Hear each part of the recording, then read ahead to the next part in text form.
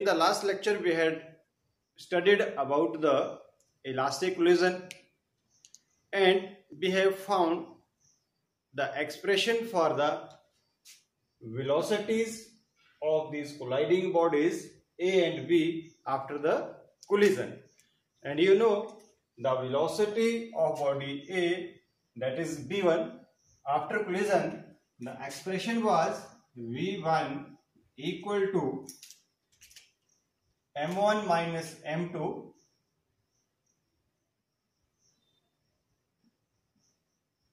u1 plus 2m2 u2 upon m1 plus m2.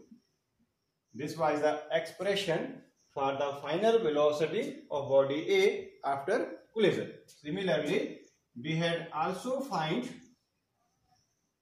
the velocity of body B after collision that was V2 and the expression was m2 minus m1 u2 plus 2 m1 u1 upon m1 plus m2 so we had derived these uh, velocities in the earlier lecture Today we are going to discuss some special cases of elastic collision.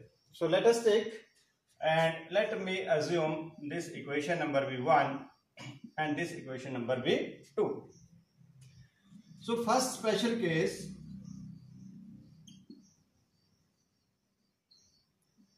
let both the bodies are of equal masses.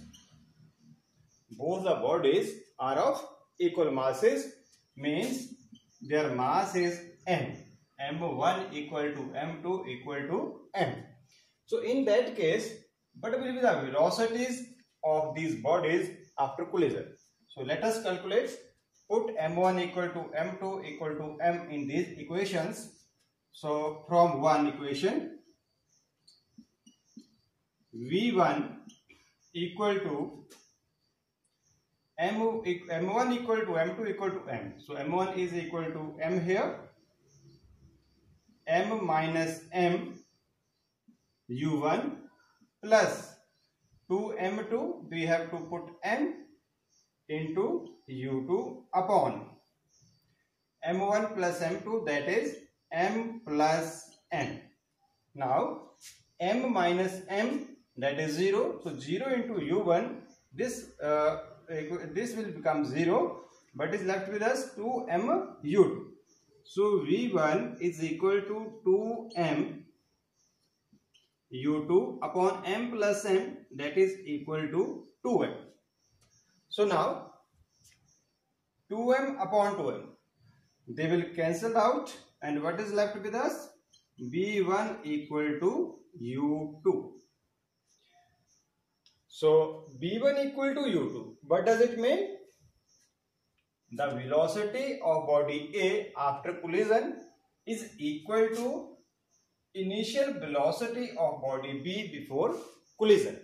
So what do we conclude from here? That there is the exchange of velocities. The velocity of body A becomes the initial velocity of body B. Now let us calculate V2 so for V2, put M2 minus M1 that is M minus M U2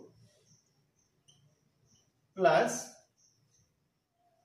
2M U1 upon M plus M. Again M minus M 0. So 0 into U2 this will become 0 and you are left only with 2m u1 upon m plus m that is 2m. So this will cancelled out and you will left only with u1.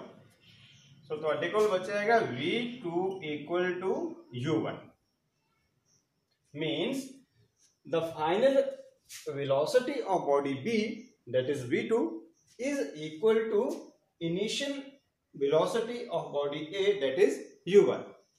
So if but we conclude from these two equations here if the colliding bodies are of equal masses, colliding bodies are of equal masses, then after collision, there is the exchange of velocities. So you can write here the important conclusion we draw here. So if the colliding bodies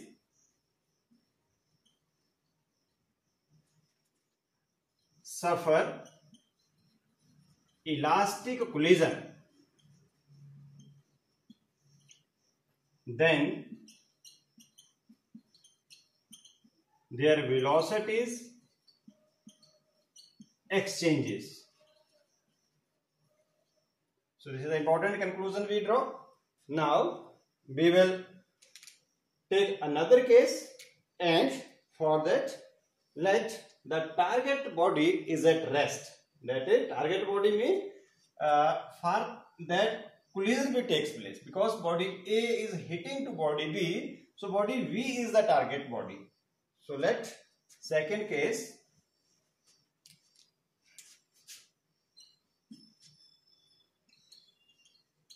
when target body is at rest. Means u2 equal to 0 so target body is at rest means u2 equal to 0 so what will happen to the velocities? So let us calculate v1 now m1 minus m2 into u1 plus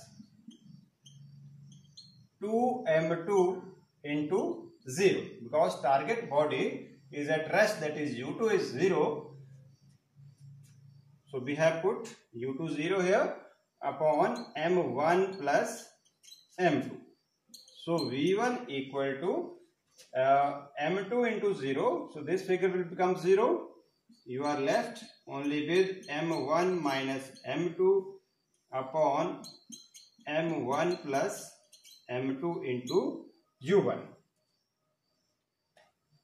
so let uh, this be your equation number 3 so this is the uh, velocity of body a after collision when target body is at rest. Now let us find B2 that is the velocity of body B. So in this case put U2 0 here. So V2 equal to M2 minus M1 into 0 plus 2 M1 U1 upon m1 plus m2. So this is multiplying with 0, this will become 0. So V2 equal to 2 m1 u1 upon m1 plus m2. Let this equation be 4. So these are the velocities of the bodies when target body is at rest. Now we will discuss some sub cases of this special case. That is when target body is at rest. So we are taking some sub cases. So for that, let me write these two equations here. First, B1 is equal to M1 minus M2 U1 upon M1 plus M2 and V2 uh, this is your equation number 3 and the fourth equation number that is V2 is equal to 2 M1 U1 upon M1 plus M2 and this is your equation number 4. So here we are applying the two assumptions. First one is that target body is at rest.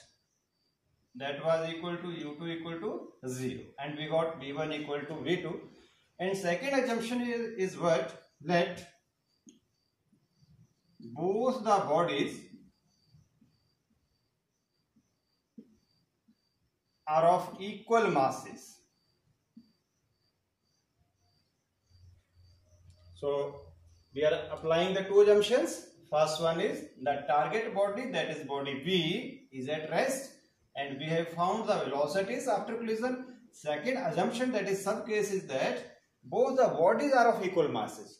So if the both the bodies are of equal masses, so m1 equal to m2 equal to m.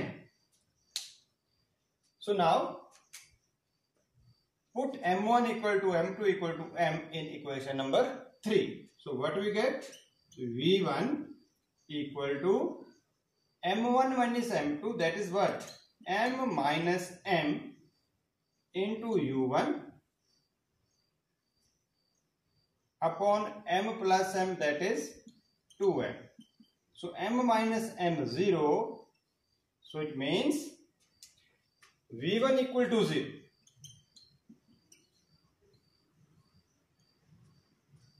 So V1 equal to 0 mean the final velocity of body A becomes 0. Now let us find V2. So in case V2 uh, what happens? 2m because m1 m2 equal to m 2m u1 upon m plus m that is 2m. So again this will cancel out and what is left with us? U1. Means to say V2 equal to U1. What does it mean? It means the final velocity of body V is equal to the initial velocity of body A. So these are the important conclusion we are drawing here if your target body is at rest and both the bodies are of equal masses, then the body A becomes at rest after collision and body B moves with the initial velocity of body A. This is important point here and this is the case where there is a 100% transfer of energy. Let us discuss how this was your case this was the body here and a body moving with velocity u1 and body v it was at rest so u2 equal to 0 mass was equal so after collision what happened the velocity of body a u1 what we get here? Sorry v1 v1 equal to 0 and the velocity of body b after collision that is equal to what? V2 equal to u1 so how this is the case of 100% transfer of energy. Initially this body is at rest so here kinetic energy is zero. This body was in motion and its velocity was what? Uh, u1 and energy kinetic energy that is m u1 square. Now after collision what happens? The energy of body a becomes zero earlier the energy of the body was half mu1 square but after collision it becomes zero before collision the energy of the body was zero but after collision, it becomes what? Half m u1 square because its velocity is what? u1. So what we are seeing here, the velocity or sorry the energy of body A is equal to the energy of body B. So in the uh, that is why what I say there is a 100% transformation of energy. Now let us discuss the another sub case and that is when let body V is of very small mass. Body V is very uh, body V is of very small mass or you can say the target body is of very small mass. So what will be uh, its diagram? You can say like this one. This is your body A and it is body moving with velocity u1 and here the body is uh, body B is of very small mass so let this one. This is the body V. And its mass is very small. So now as the mass of body V is very small. So it means m1 plus m2 is approximately equal to m1 and m1 minus m2 is approximately equal to m1 so put all these values here. So b1 is equal to m1 minus m2 and it will be approximately equal to m1 and m1 plus m2 it is again equal to m1 into u1 so m1 m1 will cancel out. But is left. B1 is equal to u1 and b2 let us find v2 so v2 2m1 over m1 as m1 plus M, m2 is approximately equal to m1 into u1 so now m1 again cancelled and v2 is equal to 2u1 so what we conclude from here if a body of large mass is colliding with a body which is at rest and which is of very small mass. So in that case, the final velocity of body A will remain equal to the initial velocity of it, right? As V1 is equal to U1 and B2 that is the velocity of body B is equal to 2 times the initial velocity of body A.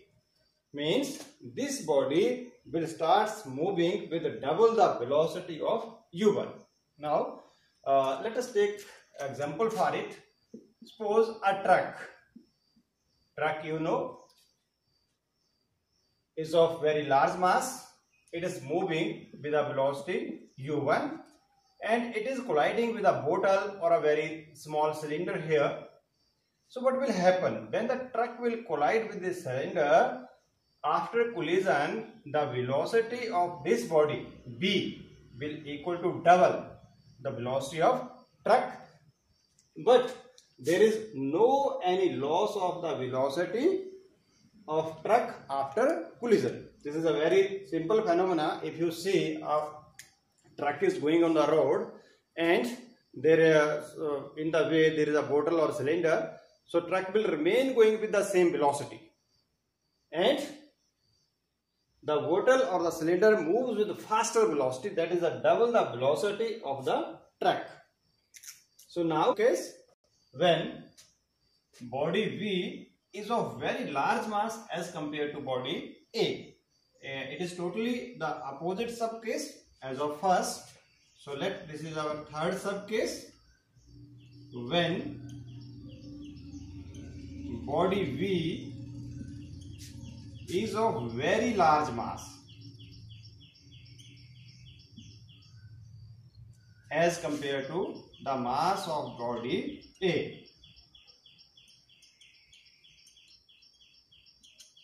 as compared to mass of body A.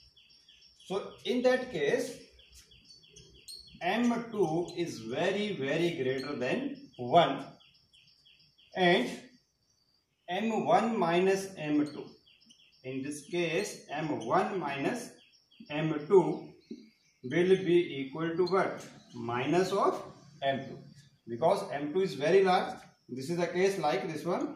Uh, M1 is suppose 1 kg and M2 is what? 1000 kg.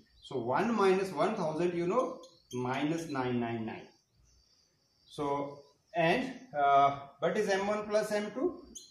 m1 plus m2 will be approximately this is also the sign of approximately uh, m1 plus m2 will be also equal to m2 so now put uh, these values in equation 3 and 4 so what we get so from equation 3 v1 is equal to m1 minus m2 and that is what? Minus. Minus m2 u1 upon m1 plus m2 that is m2 so this will cancel out and v1 is equal to minus of u1 that is the velocity of body A after collision v1 will be equal and opposite to its initial velocity. Means it will rebound back. U1 was uh, from left to right but in this case it was minus u1 so minus u1 means the velocity of the body a will be from right to left. Now uh, let us find v2 so v2 is equal to 2m1 u1 2m1 u1 upon m1 plus m2 that is approximately equal to m2. So now what we are saying here m1 upon m2 and what we have supposed m2 is very very large as compared to m1. M2 is very very large as compared to m1 as we had taken m1 was equal to 1 and m2 was equal to what 1000 or you can take 10,000. So M1 upon M2, 1.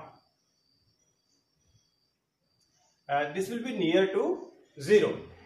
So we can write it as V2 will be approximately equal to 0. Uh, but in practical cases, we find that in such a case, the velocity, the final velocity of body V will remain 0.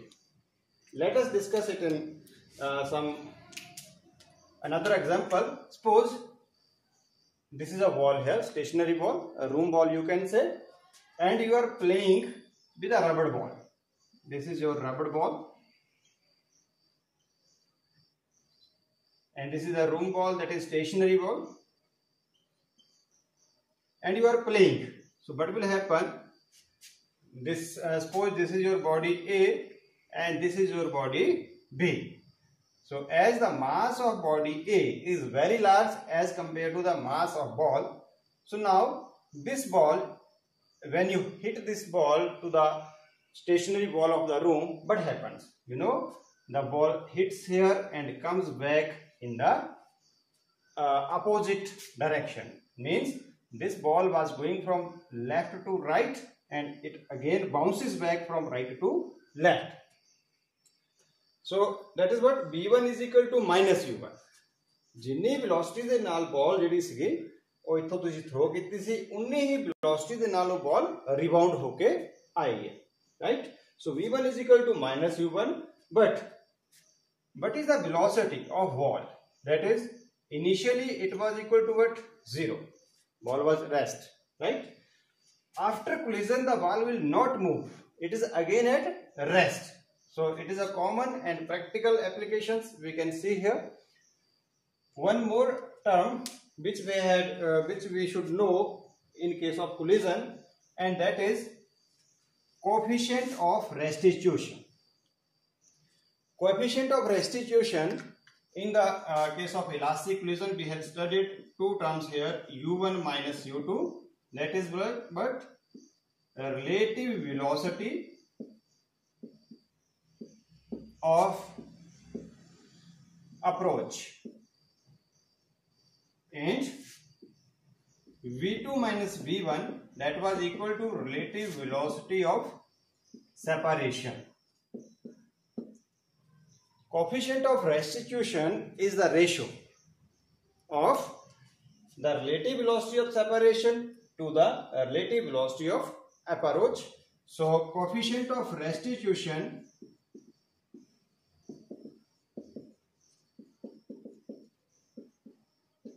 denoted by E. So E is equal to the ratio that is what let RV that is the relative velocity of separation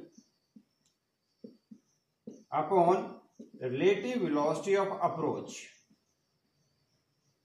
So E equal to V2 minus V1 upon U2 minus U1. We had also studied that in case of elastic collision in one dimension, the relative velocity of separation was equal to relative velocity of approach. So if the, uh, these uh, relative velocity of separation and relative velocity of approach equal, so they will cancel out and you will get coefficient of restitution is 1. So this was the important terms for the collision to be discussed. On the basis of it, we also defined the collision is, is inelastic or perfectly inelastic. So dear friends, this is all about elastic collision in one dimension and all about the special cases of elastic collision in one dimension. So thank you for watching.